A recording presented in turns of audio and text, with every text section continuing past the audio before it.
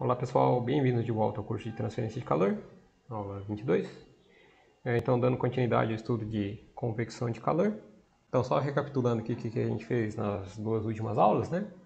Então, na penúltima aula, a gente fez a solução do problema hidrodinâmico. Então, aqui no lado canto superior direito, a gente tem até o esquema, né? Do escoamento sobre placa plana. É, vamos considerar aqui a solução para o caso de placa plana isotérmica, né? Com temperatura TS que, que a gente está querendo? Né? A gente está querendo o coeficiente transcendente de calor, que é dado pela expressão é, a partir da, da igualdade do fluxo de calor a partir da lei de Fourier com a fluxo de calor a partir da lei de resfriamento de Newton. Né? Então, dado por essa expressão aqui. Ah, então, o que, que a gente está querendo? A gente está querendo determinar o gradiente de temperatura em contato com a superfície. Né? Para isso, a gente precisa do perfil de temperatura. Aí, antes de determinar o perfil de temperatura ao longo do fluido, a gente precisa determinar o perfil de velocidade, né? Porque está até dado aqui, a gente depende da velocidade para determinar o perfil de temperatura. Então a gente partiu da equação de Navier-Stokes, é, já simplificado, né? Está dado aqui. É, simplificamos a equação de Navier-Stokes, chegamos nessa expressão aqui. É, aí antes de fazer a solução dela, o que, que, que, que a gente fez? A gente pegou, partiu das condições de contorno que a gente imagina que teria aqui na camada limite, então não, desli não deslizamento, o infinito aqui, derivada zero aqui do perfil de velocidades e a derivada segunda do perfil de velocidade em contato com a parede, né? porque aqui é zero, aqui é zero.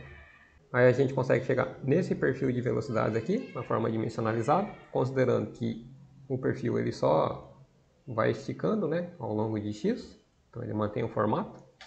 Aí a gente pegou essa equação aqui, e fizemos a integração dela ao longo de y, de 0 a delta, né? de modo que aparecesse o delta na equação. Aparecendo o delta é o parâmetro que a gente quer. Ah, então, fazendo essa solução, a gente chegou nessa expressão aqui. Legal. Então, chegamos numa expressão para espessura da camada limite.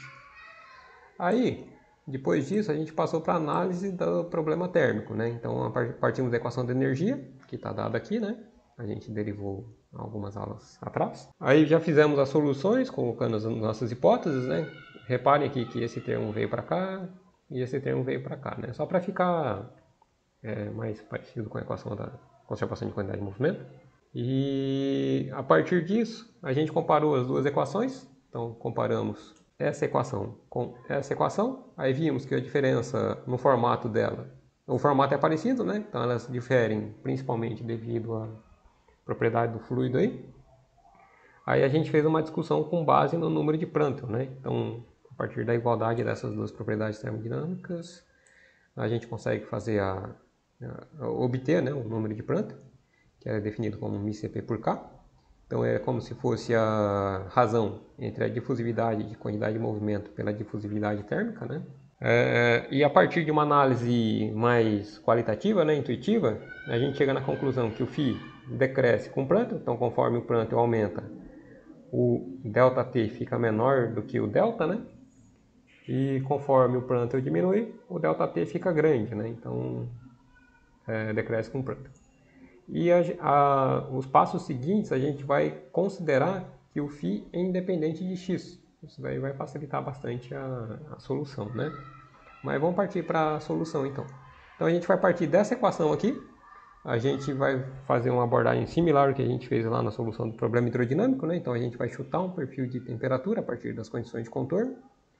Aí com isso a gente vai obter um polinômio para o perfil de temperatura que vai ficar como função de ΔT, que é a espessura da camada limite térmica. Aí a gente vai partir dessa equação aqui e fazer a integração para chegar na espessura de camada limite térmica, né? Na verdade a gente vai chegar num φ, e a partir do φ a gente chega à espessura de camada limite térmica. Com a espessura de camada limite térmica a gente tem o, o, o perfil de temperatura e o coeficiente de transferência de calor. Então vamos listar as condições de contorno para a gente conseguir obter um perfil de temperatura, né? Então a gente pode até partir do nosso esquema que a gente já tem, tá aqui, né? Então o que, que a gente vai ter? Né? Então em y igual a zero, temperatura igual a Ts, em y igual a ΔT. Então, vou colocar aqui, né? ΔT. Temperatura é igual a T infinito. A derivada de T em Y igual a ΔT é igual a zero. E se a gente vier aqui nessa equação, colocando para Y igual a zero, o que, que a gente vai ter? Né? Então, a gente vai ter U igual a zero e v igual a zero. Então a gente consegue quatro condições de contorno também, né? Então vamos só listar elas aqui no modo organizado. Então só colocando no modo mais organizado aqui, né? Então a gente tem temperatura na superfície, a temperatura na borda da camada limite, a derivada da temperatura na borda da camada limite. Então só esquematizando aqui, né? Então a gente teria algo assim. Derivada aqui é zero. E a segunda derivada que vem dessa equação aqui, né? Então a gente coloca y igual a zero, v igual a zero, u igual a zero e v igual a zero, né? A gente chega nessa expressão. Aí, para esses passos, a gente vai adotar essa dimensionalização aqui, né? t menos t infinito, que é diferente do que aquele teto que a gente definiu, né? Que era t menos ts sobre t infinito menos ts. Que lá foi útil porque a gente chegou na conclusão que para Prandtl igual a 1, isso aqui é igual a 1 por 1 infinito, né? Aí quando a gente estiver fazendo a derivação, vocês vão ver que esse formato que a gente está adotando agora, t menos t infinito sobre ts menos t infinito, é um pouco mais interessante para essa derivação, que já vai aparecer um termo lá com t menos t infinito. Mas nada impede, né? Só vai ter algum... adotar a definição anterior. O único ponto é que vai ter alguns passos matemáticos a mais, né?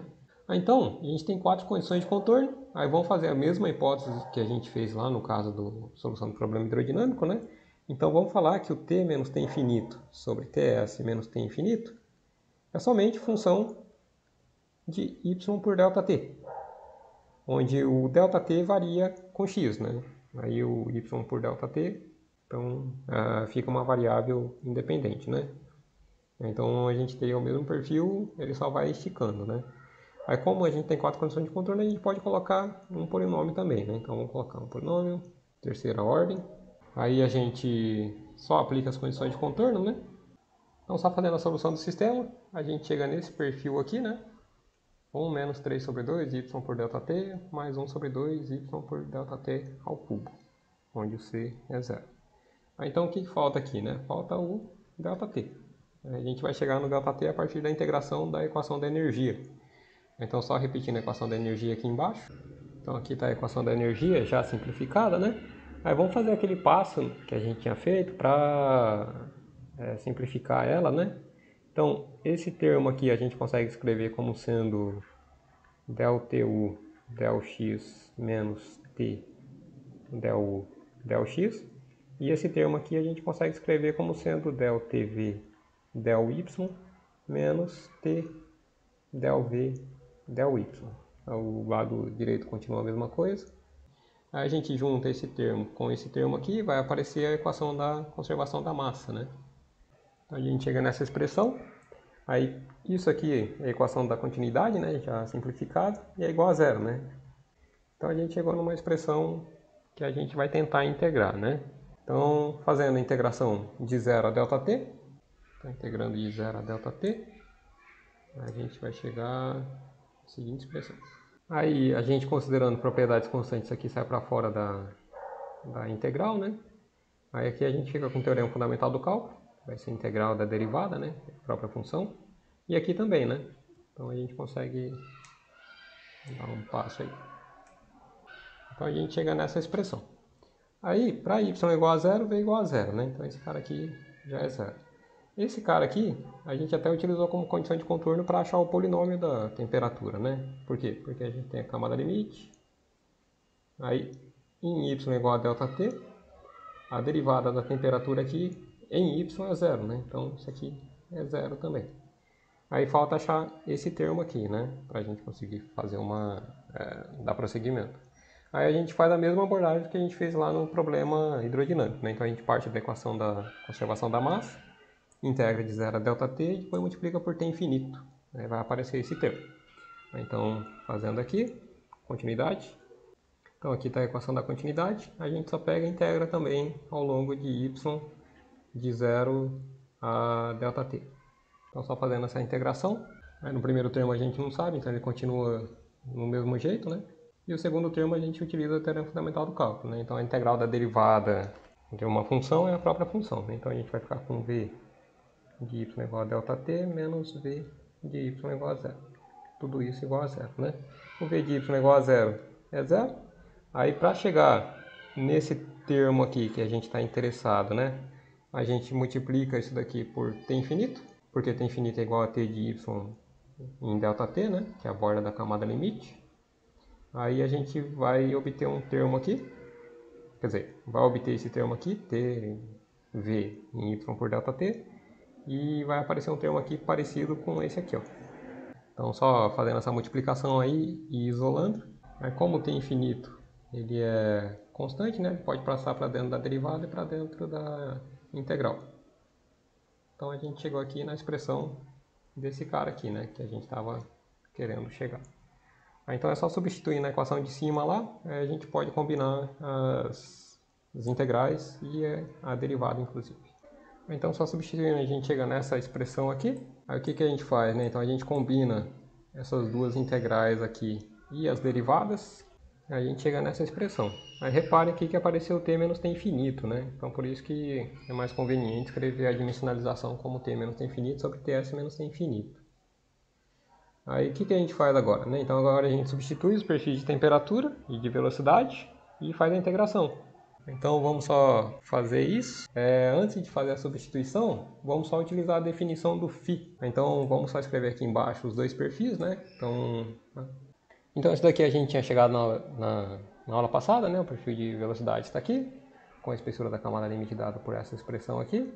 O perfil de temperatura a gente chegou nessa aula, né? através da imposição das condições de contorno. E na aula passada a gente fez até a definição do parâmetro φ, né? que é a razão entre a espessura de camada limite térmica e a hidrodinâmica. Né? É, então só rearranjando aqui, a gente chega aqui 1 por delta é igual a φ por delta t. Então a gente consegue reescrever essa equação aqui como função de y por ΔT, né? que é o que a gente está interessado, ΔT.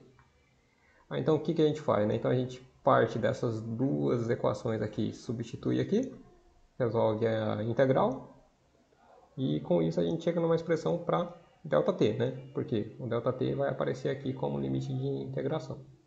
Então, só repetindo a equação aqui embaixo, depois a gente faz a substituição. Então a gente multiplica aqui por Ts menos T infinito, aí já vai aparecer no formato do perfil de temperatura dimensionalizado, né, dado aqui. E aqui a gente gostaria que aparecesse o y por ΔT, né, bem como aqui. Mas aí a gente consegue fazer isso também, né, é só multiplicar e dividir. Então multiplicando aqui por T1 sobre Ts menos ΔT, então a gente fica com. E também o infinito, né. Então, o infinito então a gente chega nessa expressão. É, aqui do lado esquerdo multipliquei por u infinito, né, para aparecer u por u infinito, que é o que a gente tem aqui. É, o t menos t infinito já estava aqui, né? Aí do lado direito, o ts menos t infinito passou aqui para dentro da derivada, que multiplicou tudo, né? E eu subtraí derivada de t infinito, né? Então t infinito é constante em relação a y, então eu subtraí zero, né, no final das contas. Então mantive a equação aqui, né? É, a partir daqui a gente consegue fazer a substituição dos perfis, fazer a integração, né? E o limite da integração aqui mudou, né? Então ao invés de ser de 0 até ΔT, vai ser de 0 a 1, né? Porque o y por ΔT varia de 0 a 1. Então só aí a gente também consegue fazer essa derivação aqui.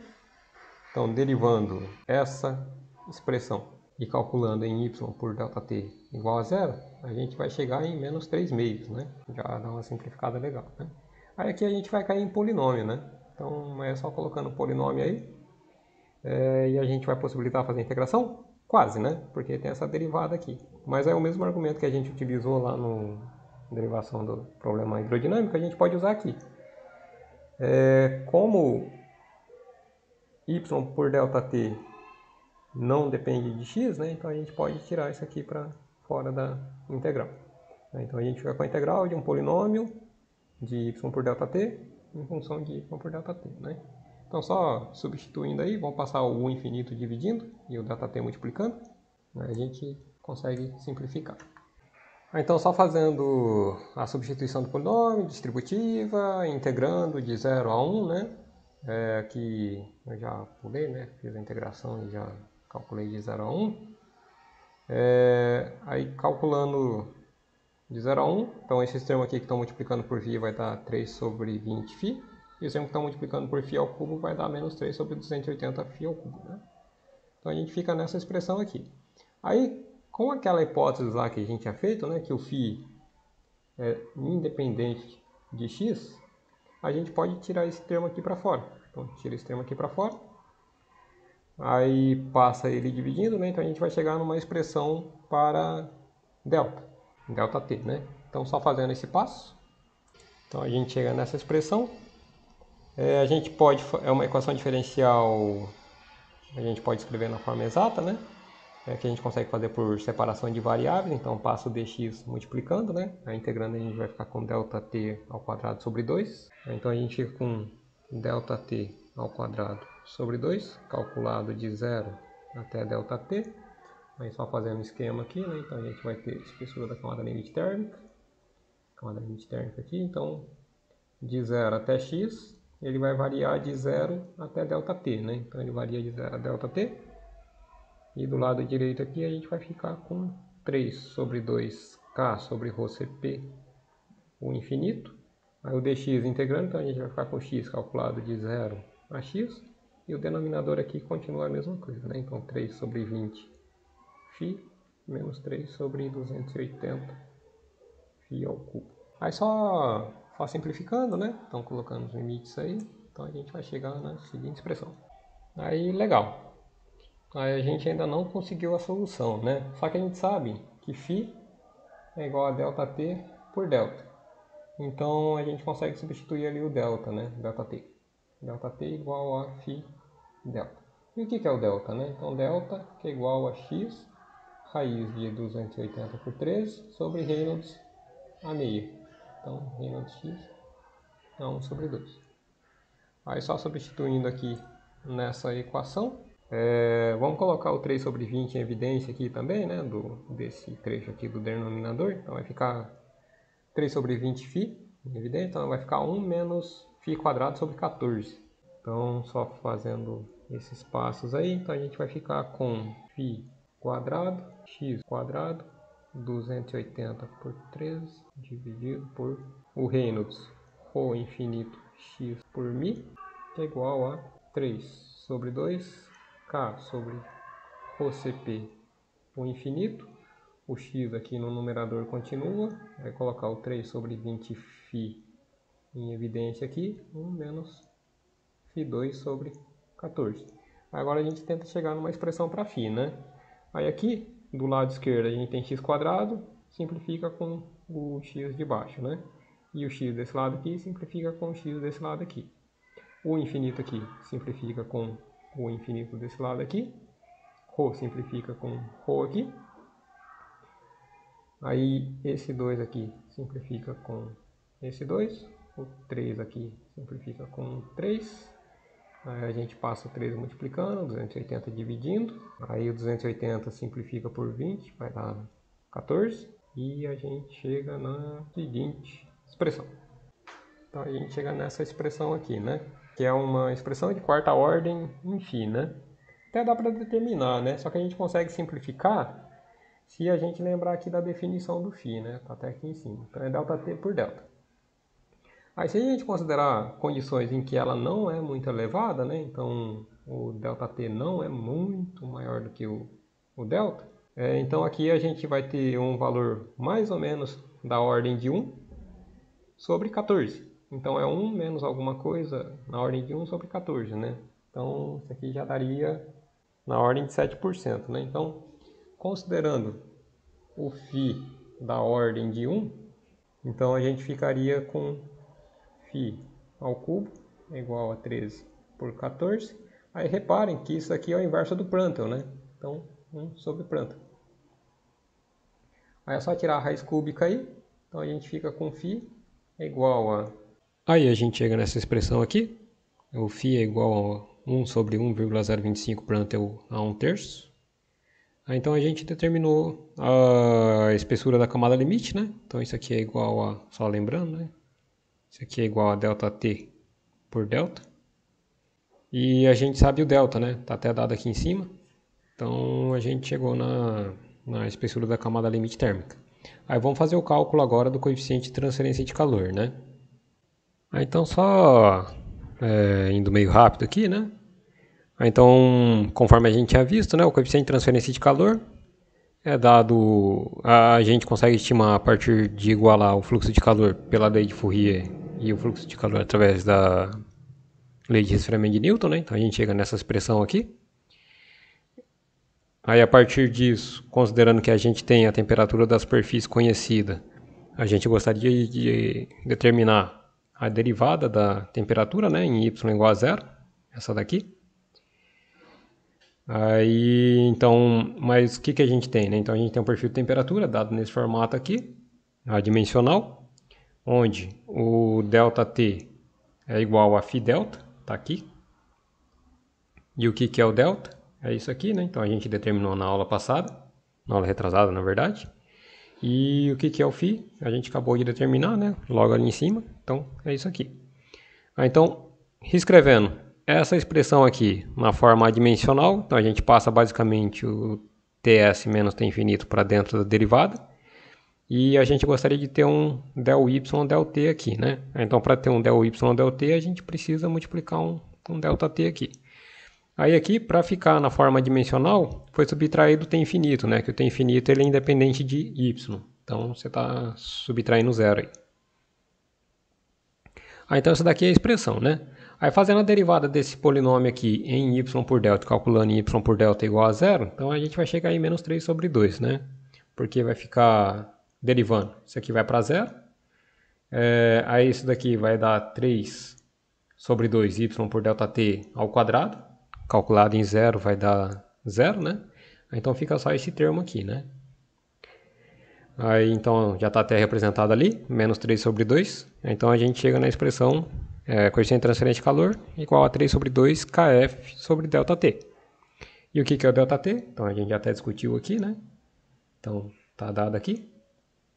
É igual a φ delta, o delta é a função do número de Reynolds e o φ a gente obteve que é a função do número de Prandtl, né? Aí só fazendo essas substituições em série aí, a gente chega nessa expressão aqui, 0,3313 kf sobre x Reynolds meio Prandtl a 1 terço. Aí então a gente consegue rearranjar essa expressão, ficando nesse formato aqui, né? Parece o número de Biot. Isso daqui é o número de Nusselt é um adimensional, então conforme o número de Biot, né? então é coeficiente de transferência de calor, comprimento característico, coeficiente de transferência é o condutividade térmica do fluido, né? Lá no número de Biot, a gente tinha o H, comprimento característico do, do sólido, né? Dividido por condutividade térmica do sólido. Então, a, o formato matemático é igual, só que o significado físico é diferente, né? É, então a gente chegou nessa expressão aqui. Número de Nusselt é igual a 0,3313 Reynolds a meio é, Prandtl a 1 terço, onde o Reynolds é dado por essa expressão aqui. É só para lembrar, né, o Prandtl é igual a MCP por K. Só para manter na memória. Então, legal. Então aqui a gente resolveu o coeficiente de transferência de calor para escoamento laminar sobre placa plana. É, varia com x, né? ele reduz ao longo de x. Então, por quê? Porque aqui tem um x multiplicando. Na verdade, se a gente olhar para essa expressão aqui, né? Então aqui a gente vai ter x a meio aqui no Reynolds dividido por x. Então vai dar 1 sobre x elevado a meio, né? Então conforme aumenta x, você reduz o coeficiente de transferência de calor. Aí a gente consegue calcular o coeficiente de transferência de calor médio, né? Ao longo do comprimento. Então a gente segue a definição de média mesmo, né? Então a média do H para x variando de 0 até L, qual que vai ser? Né? Então vai ser 1 sobre L integral de 0 a L, h de x dx. Aí só substituindo os valores aqui, aí conforme comentado, né? Então aparece um x aqui e aparece um x aqui no numerador. Então aqui vai dar x 1 sobre x a meio, aí integrando vai dar 2 vezes x elevado a meio, né? É, calculando de 0 a L a gente chega na expressão aqui.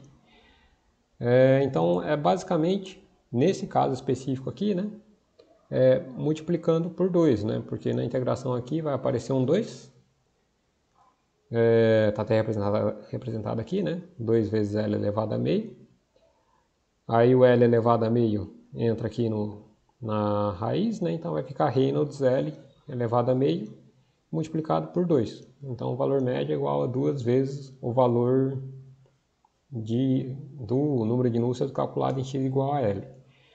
É, mas fiquem atentos que a média é 2 para esse caso aqui, né? É duas vezes o valor em x igual a L para esse caso. Não é incomum ter aluno que pega e considera que a média é igual a duas vezes tudo, né? Então fiquem atentos a isso. Aí na próxima aula a gente volta com um exemplo.